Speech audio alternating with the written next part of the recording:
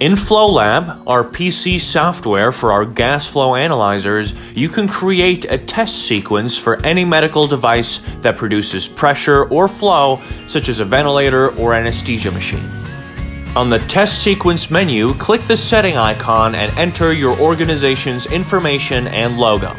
This information will be printed on your PDF test report. Now you can start designing your test sequence by inserting components like text, graph, image, measurement value, and more.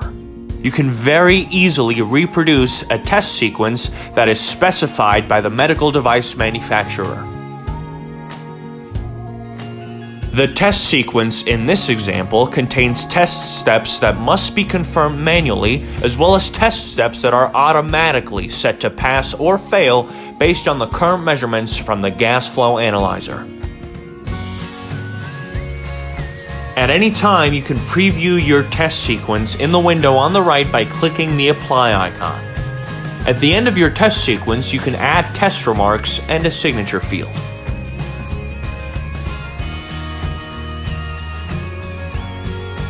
Designing a test sequence has never been easier with FlowLab, our PC software for gas flow analyzers from IMT Analytics.